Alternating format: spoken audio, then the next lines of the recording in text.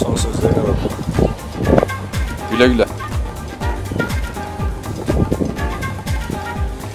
Çok güzeldi, çok eğlendik sayenizde.